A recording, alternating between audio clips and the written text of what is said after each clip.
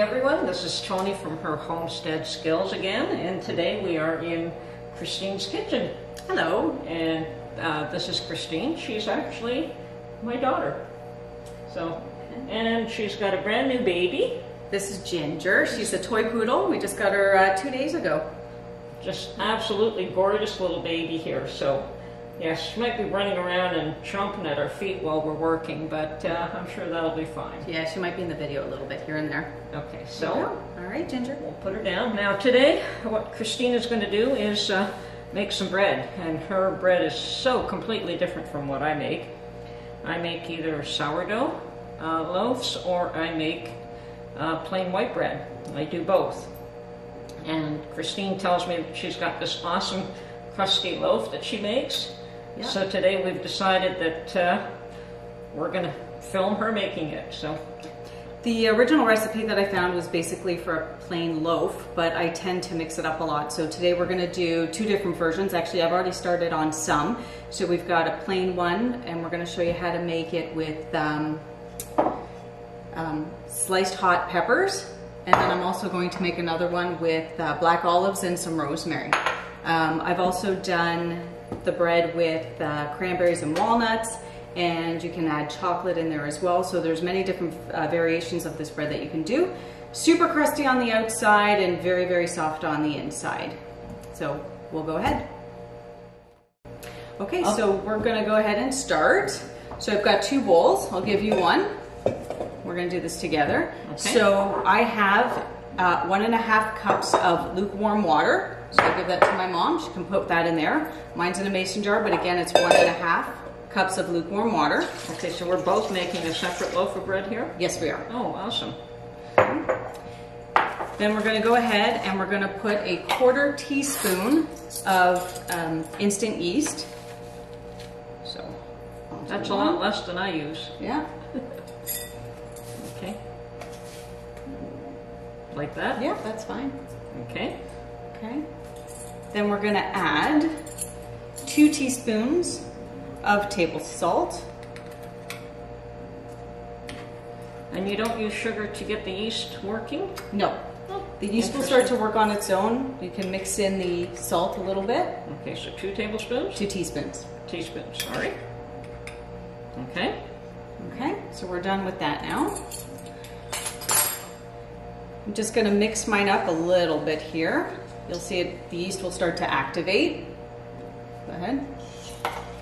This way.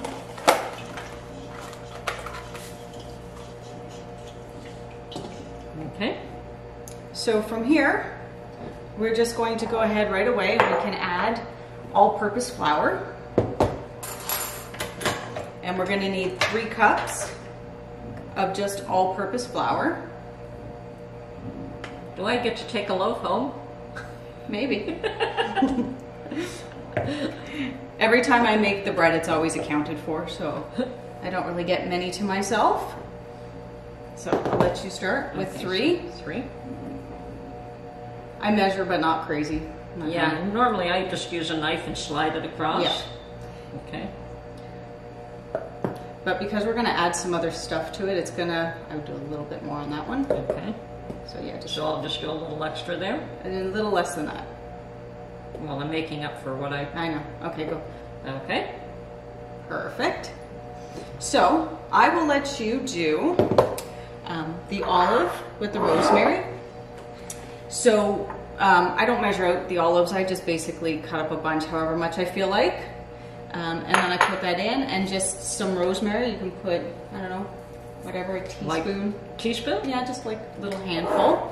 Okay. And I'm going to use the um, hot sliced chili pepper. So it's uh, rosemary, not ground, it's the rosemary flakes. rosemary flakes. Okay.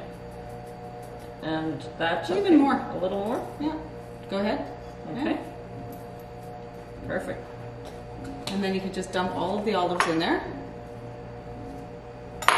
And if you want, what we're gonna do, I will let you go ahead and stir it. It's gonna get some more, but that should be fine. And then I'm gonna just add a bunch of hot peppers to mine. Again, I don't measure, it's just whatever I feel like.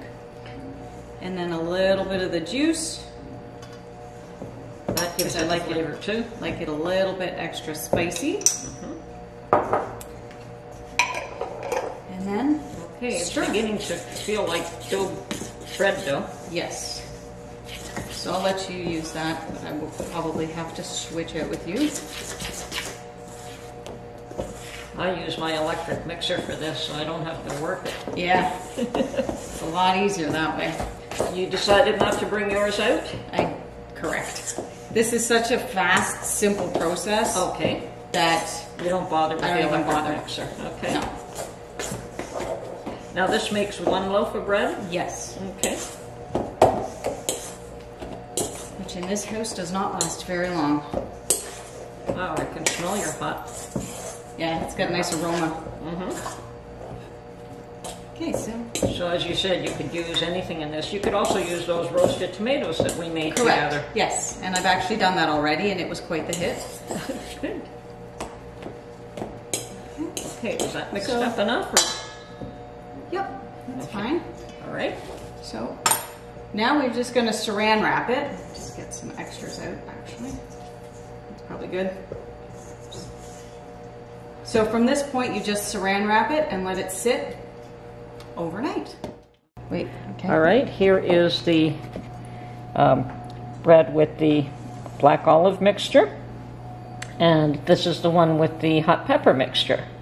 So that's what they look like now. And you said that you're going to cover them with saran wrap at this point? Yep, and we're going to let it sit overnight. It sits overnight. Oh, okay.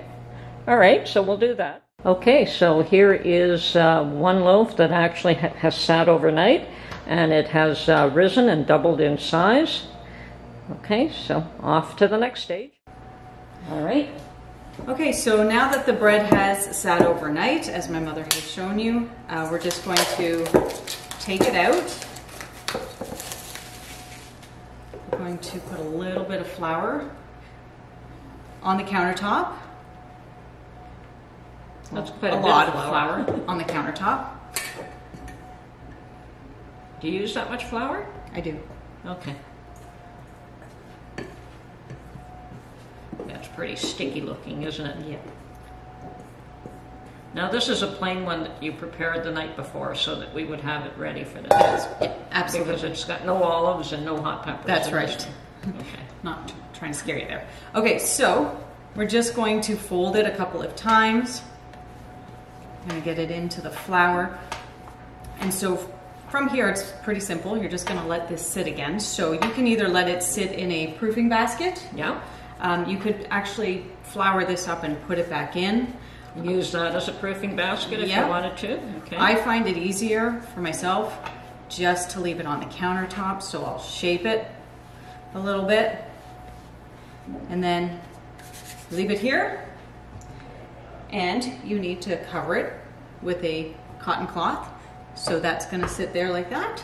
And then this has to sit here for another two hours. Two hours. Okay. And it, I take it at that point it's rising again. It is rising a little bit again. Okay. And then once that's done, it'll go in the oven. Okay. Wonderful. Okay. Now we're at the uh, next stage. Christine has pre- prepared a number of loaves, so this one actually has hot pepper in it. But what she has done is she's prepared a number of loaves so that we don't have to wait the two hours and the overnight and all of that, and we can do this in one filming. So, Christine? Okay, so again, this one has sat with a cloth cover for two hours. So now, now we're just going to put it in the oven. So for the oven, we have set the oven at 450 degrees. I'm going to use a cast iron pot Dutch oven. or Dutch oven. Yeah. Um, not this particular one. I have one that's sitting in the oven. So when the oven is preheating, um, you do want to put in the cast iron with the lid so that it comes to temperature with the oven. So I'm going to now grab that out of the oven and we're going to place the bread Okay, inside. so, so you preheat your Dutch oven. Correct. Okay. Okay. So I'll just grab that out of the oven. Okay. Okay, so here's the uh, the Dutch oven. As you can see, it used to be red, but it's now burgundy because of the heat. So we're just going to pick this up and we're going to flip it into the Dutch oven. I'm going to shake it a little bit Lid goes back on. And from there, it's gonna go into the oven. With the lid on, and I'm going to set the timer for 30 minutes. So it's cooked in 30 minutes? No. You, So once, uh, once the timer's gone off in 30 minutes, we're going to take off the lid. And then that's when you're gonna start to see the, um, the loaf become very crusty and okay, brown. so that process there is fairly similar to making a sourdough loaf. Yes, That's exactly how I make it. You you make it. It does take overnight to make a sourdough loaf, and a good one is made in a Dutch oven. correct. So that process is similar, except that you're not starting with uh, your own sourdough yeast. Correct. Okay. Okay. So at this point, the how long has it been? Twenty It's- minutes. It's been 30 minutes. 30 so minutes? the timer has gone off. So we're gonna just open up the oven. And then I'm going to take off the lid. As you can see, it's oh, it's already starting to starting to cook? get a nice crusty color too. turn off the timer. So now I'm just gonna stick it back in the oven. And you can leave it in there for 10 to 15 minutes, maybe even 20 minutes, depending on your oven. You just want it to get nice and toasty brown, so it'll be up to your liking. So whatever you'd like in terms of the brownness, the crustiness, that's how long you would leave it in for, but typically about 15 minutes. So I'm just gonna set the timer again, and we're gonna go from there. Okay. Wonderful. Thank you. No problem. Okay. Gotcha. Well, as we're letting the bread uh, finish up its last leg of cooking, we're just gonna play with little Ginger here. So she likes to be underfoot at all times, although she's been really good by sitting in her uh, little bed. But this is our cute little addition.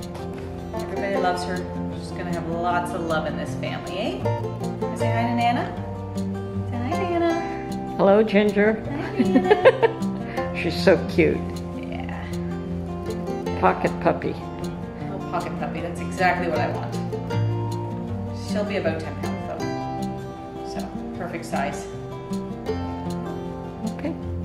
Take a quick Okay, the buzzer's gone off. Okay, so we're just gonna go ahead and take a look at it. Oh, that looks nice.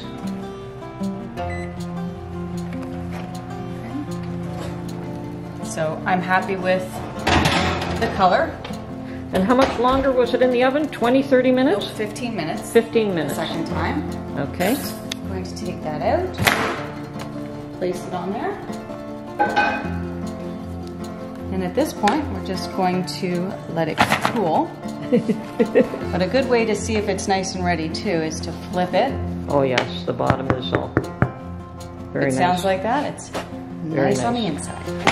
And of course, doing them in a Dutch oven is half the trick. Yep. So now you're just going to let that sit till it cools and then you can go ahead and cut it up and eat it. Wonderful. Thank you so much. I am taking one home. You're very welcome.